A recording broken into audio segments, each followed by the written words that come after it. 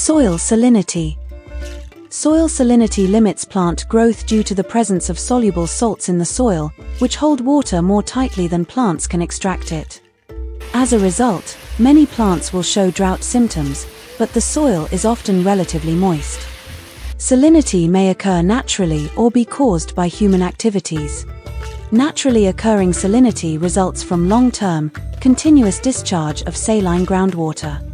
Human-induced salinity is the result of human activities that have changed local water flow patterns in an area.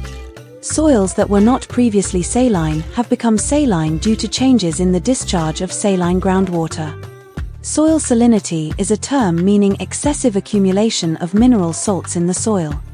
Soil salinity is a problem that most often occurs in gardens located in large urban agglomerations. If it occurs for a long time, it may lead to the death of plants due to difficulties in absorbing nutrients from the ground. This process, over a longer period of time, leads to the death of plants due to disruption of their water management. Soil salinity, what is it and how does it arise? Soil salinity is the excessive accumulation of sodium, potassium, magnesium, chlorine, sulfates, carbonates, and bicarbonates. A measure of soil salinity is the amount of salt content in soil water. It is expressed in grams per liter of water. Soil salinity may be caused by the natural accumulation of salts in the soil or the result of inappropriate human activities leading to the formation of saline soils. So soil salinization occurs mainly when over-fertilization with mineral fertilizers using too high doses of mineral fertilizers in agricultural areas and in greenhouse crops before we start using them, we should determine the actual needs of the soil and use only those fertilizers that contain only the necessary nutrients.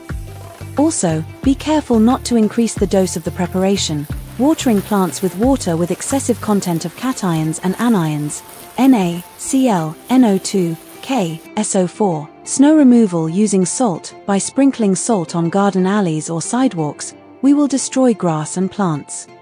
We can replace salt with sand in this case. Improper use of plant protection products, avoid excessively frequent use of chemicals to eliminate weeds and pests.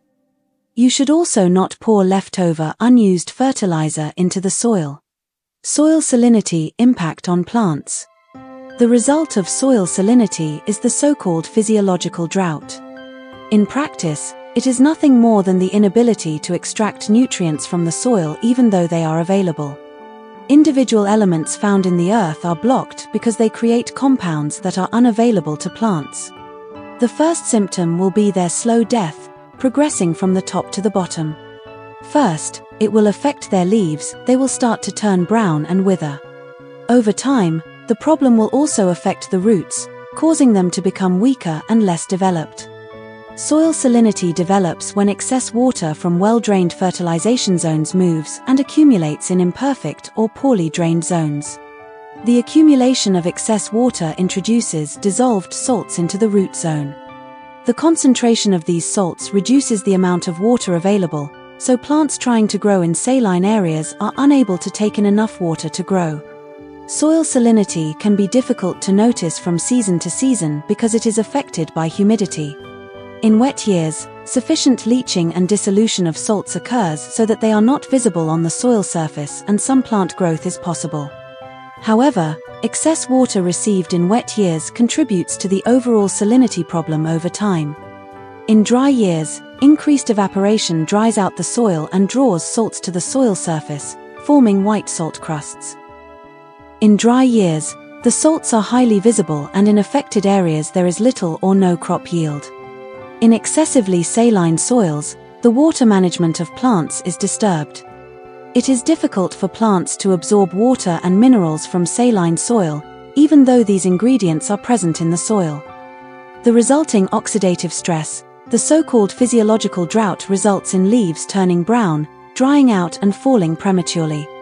It also leads to a decrease in germination capacity, CO2 assimilation and, as a result, to a decrease in the chlorophyll content in the leaves and inhibition of plant growth. Saline soil primarily leads to impaired water and nutrient uptake, which translates into inhibition of plant growth and development, and thus leads to reduced yields. In extreme cases, High salt concentrations can lead to the death of plants, but a lot depends on the tolerance of individual species and varieties. Salinity also leads to the destruction of soil colloids and the washing out of magnesium and calcium, which means an increased risk of erosion and the effects are visible in subsequent seasons. The sensitivity of plants to soil salinity depends on many factors, including the species and even variety of the plant, development phase, and climatic and soil conditions. Young seedlings are most sensitive to soil salinity. Over time, the plant develops defense mechanisms. Plants resistant to soil salinity include sea buckthorn, barberry, sumac, field maple, hawthorn, common privet, Siberian caragana, cotoneaster, tamarisk, fodder and sugar beet, clover and barley.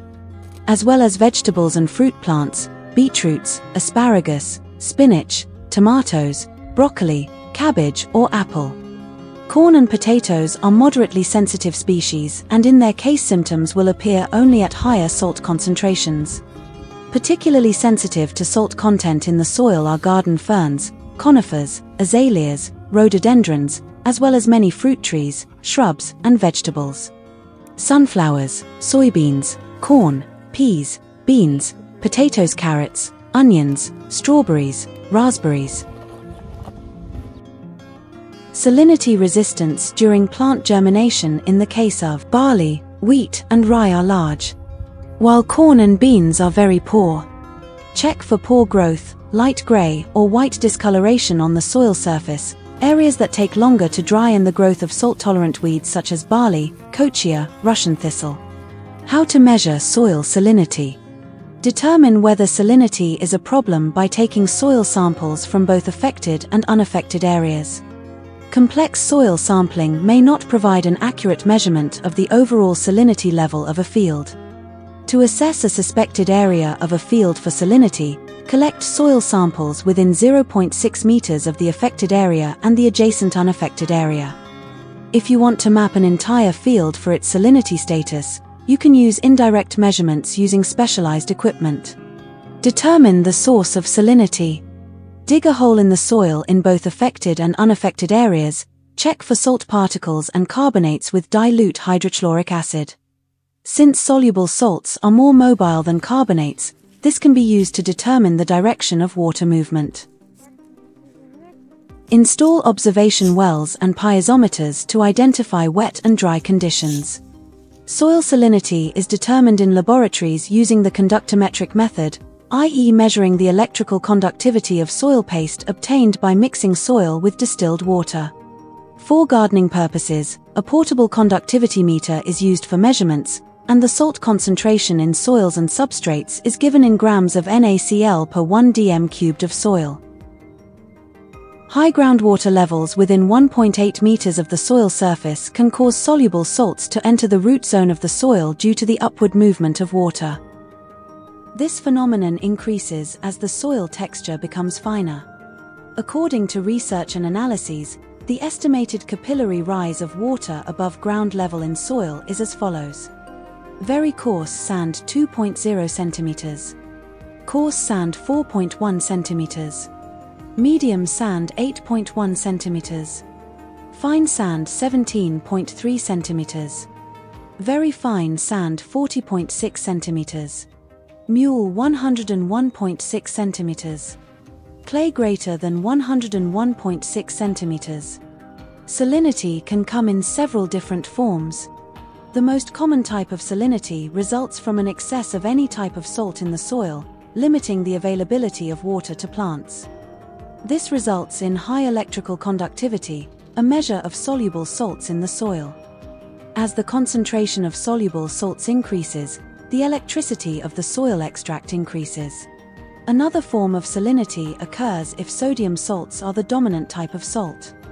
A relatively small amount of sodium salts can negatively affect the structure of the soil and create a sodium state in it, but it does not necessarily have to have high electrical conductivity. These conditions are often referred to as alkaline. The concentration of sodium relative to calcium and magnesium in the soil is called the sodium adsorption coefficient. SAR is a measure of the sodicity of soil. Water extracts from soil with SAR values greater than 13 indicate that the soil has a sodium problem. Even with SAR values 8, there are cases when relatively high concentrations of sodium in relation to calcium and magnesium cause dispersion of clay particles, i.e. structural collapse of the soil and blocking of soil pores, which reduces the infiltration rate and increases the potential for erosion. Diagnosis of non-saline and saline soils shows that in non-saline soil legumes and vegetables with SAR less than 13 showed less growth with an increase in EC, like an increase in the content of soluble salts in the soil. With sodium phenomenon all plants at high EC there was little or no plant growth. The pH in this case may be greater than 8.6. A mixture of both variants may also occur. The above values should be treated as a guide when determining the presence and intensity of salinity in the soil. When EC or SAR values approach these critical values, crop performance may be affected. The effects of soil salinity are influenced to some extent by soil texture, organic matter content, soil moisture, etc. How to prevent soil salinization? One way to combat soil salinity is to water very abundantly. If there is a lot of water, harmful compounds will be washed from its surface into the ground where they will not be available to plant roots. However, it is not easy to do, because huge amounts of water are needed even 100 to 250 dm cubed per 1 square meter therefore, this method is most often used in professional greenhouses. To prevent excessive soil salinization, first of all, mineral fertilization should be used rationally, avoid the use of salt in winter maintenance of roads and paths. And use organic fertilizers to improve the soil structure. Recommended organic fertilizers include compost, manure, as well as biohumus. How to reduce soil salinity in the garden? Soil salinity can be reduced by starting with liming the soil using calcium and magnesium fertilizers. You can use, for example, granulated chalk lime with magnesium or dolomite. Soil salinity can also be reduced by mixing soil with gypsum in a ratio of several tons of gypsum per hectare. Thanks to this, the salt compounds will not completely disappear from the soil, but will become non-toxic and digestible for plants. If the salinity problem is not yet serious, even mixing the soil with calcium fertilizer is enough. In the case of saline soils at shallow depths, deep plowing is sufficient. Reclamation of more heavily degraded soil begins with planting plants resistant to salinity until the soil permeability is gradually improved. In particularly severe cases, dilute sulfuric acid is used to dissolve the calcium carbonate contained in the soil. In practice, this increases the permeability and aggregation of the soil, and the sodium sulfate formed in the soil solution is washed out. In agriculture, cultivation methods are modified on saline soils. For example, in irrigated fields, plants previously grown at the tops of furrows are planted halfway up. This allows the roots to use water, while salt accumulation is strongest in the upper part of the ridge, away from the root system. In soils with lower permeability, salinity can be reduced by adding organic matter low in available forms of minerals. Such an addition may be garden peat, uncomposted garden bark, sawdust from coniferous trees, beech bark compost, straw, or mixtures of various lignite fractions. Depending on the degree of soil salinity, approximately 10 to 50% of organic matter should be used per 20 centimeter layer of soil. Prevention is definitely better than trying to reverse changes that have already occurred we can reduce the risk of salinization of our soils by rationally using mineral fertilizers, which in the current season. Moreover, it is worth using organic fertilizers, as well as calcium and magnesium fertilizers, which not only provide nutrients, but also have a beneficial effect on the soil structure. Keep annual records of crop yields and rainfall during the growing season. Using GPS technology, Create reference points for repeat soil testing to monitor changes in soil salinity. If inspection wells or piezometers are installed, groundwater levels should be monitored throughout the growing season to determine whether water levels are declining. If salinity levels do not decrease, other management strategies may need to be considered. Definitely an innovative method to improve soil quality, but it is becoming more and more common. Use plant microorganisms, this is a promising solution. In light of these challenges, the use of certain microorganisms inhabiting the plant rhizosphere or inhabiting the roots of halophytic plants, which also have plant growth promoting properties, as a promising strategy to increase the adaptive capacity of plants to salinity induced stress conditions.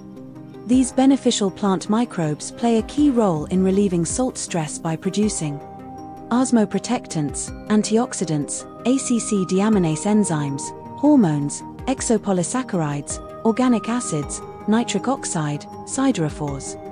At the same time, they can promote increased nutrient availability.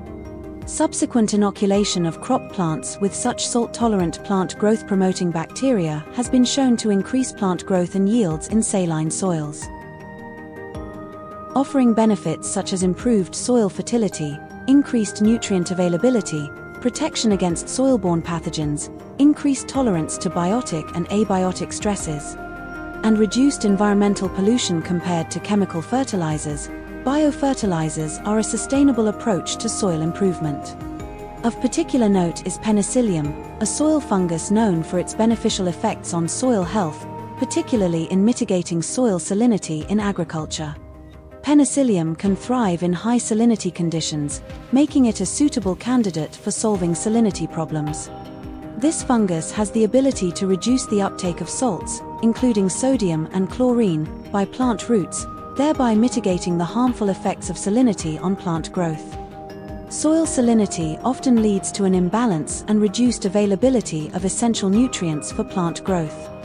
Penicillium can dissolve and mobilize nutrients in the soil, making them more available to plants and alleviating nutrient deficiencies caused by salinity stress.